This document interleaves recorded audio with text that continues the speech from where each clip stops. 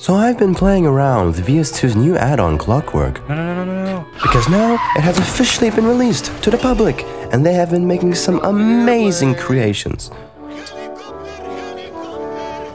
But nothing will prepare you. For in this video, I steal a house with a helicopter in Minecraft.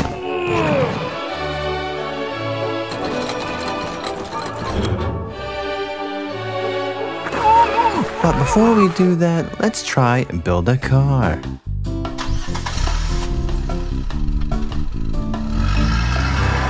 First, I built a chassis.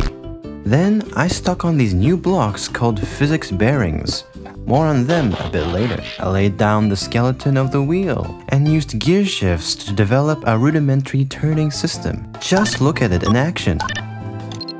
Then I came up with the brilliant idea to use the redstone resistor, A new block from Clockwork. that allows you to control the speed of your rotation based on your redstone input. So I thought it'd be a perfect block to create a brake from. But then I realized I was using toggle latches when I should have been using powered latches to create a more natural control scheme. Let's go forward.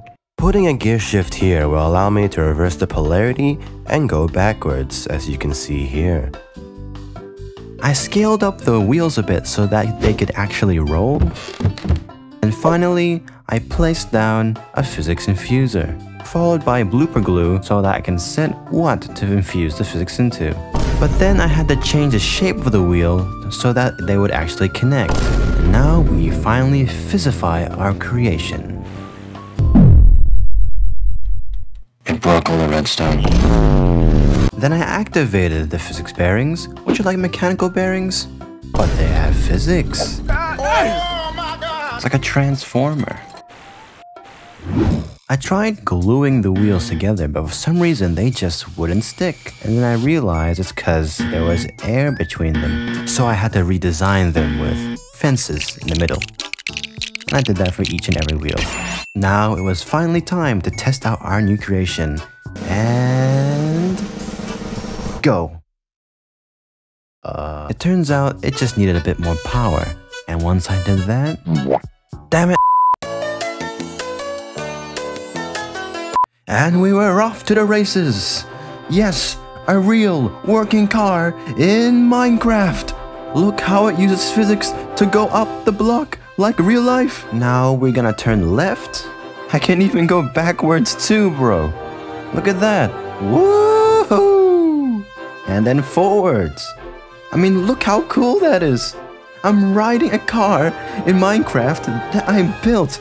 It's using physics! Look at it go. Oh, and then we go left. And then we go back. Put a little pig there.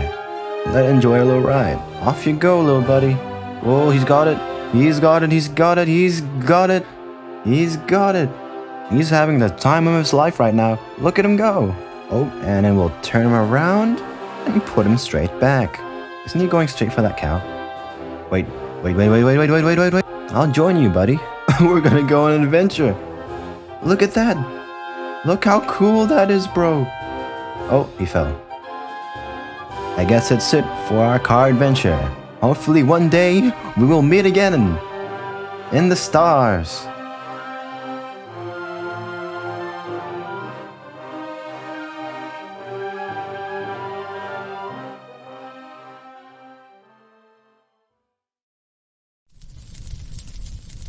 Liking the video so far? You do? Then consider subscribing. Hey, wait! I've always wanted to steal a house, but to do that, I needed an adequate vehicle. That's when I came across Endel, who created one of the most craziest contraptions I've ever seen. A fully working double rotor helicopter. Built for airlifting other ships, this thing runs on pure black magic, using the add-on Valkyrien Computers and Computercraft. Don't even get me started on the complexities of the code. The actual winch is from Valkyrien Tournament, an add-on which, among other things, has working rope physics. But I didn't want to take the easy way out. I wanted to try and make my own design based on a unique feature where ships can be stuck together using the sticker from the Create mod. But there was one problem. The damn thing just did not work, and I spent hours trying to figure out what went wrong. Then I realized it's because I was rotating something the wrong way. Think about it, I spent hours and hours trying to fix a problem that was solved by turning a crank the other way around. So I turned it the right way around, and it flew beautifully. Great. Now, with the helicopter in fully functioning order, we can get started on creating a new winch. So I landed the helicopter on a platform that I made in order to work underneath it. I started with a physics bearing to work as a hinge and using cannon barrels from the Create Cannons mod as a shaft, followed by our magic sticker.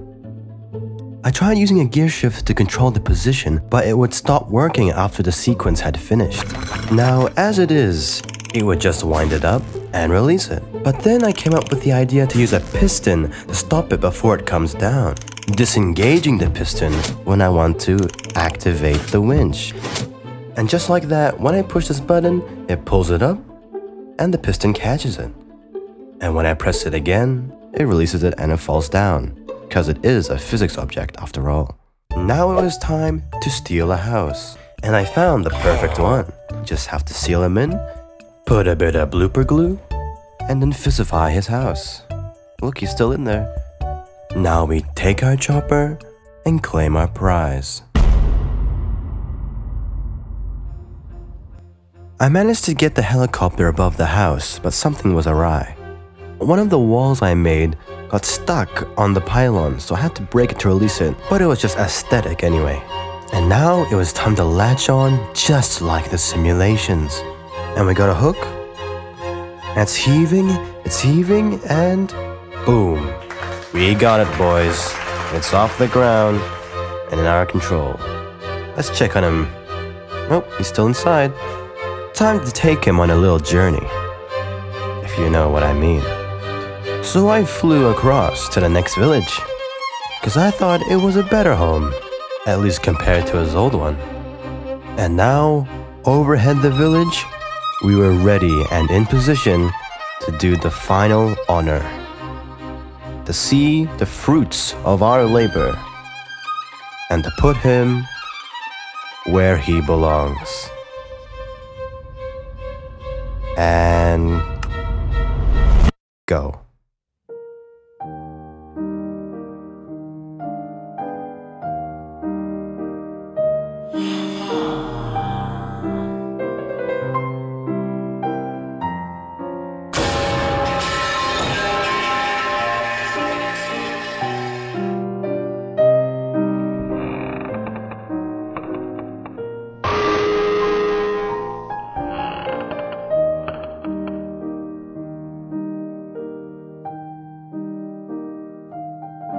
With the payload still intact, this was a mission success. Though I wasn't able to land the house straight, I decided let's give him a proper send off. I apologize for what I'm about to do. And begone!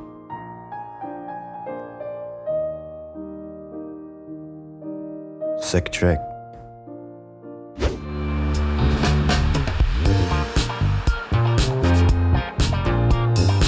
Hey, if you enjoyed the video, consider subscribing. And if you want to do what I did, or at least figure out how to do it, then join the VS2 Discord server down below. Anyways, toodaloo.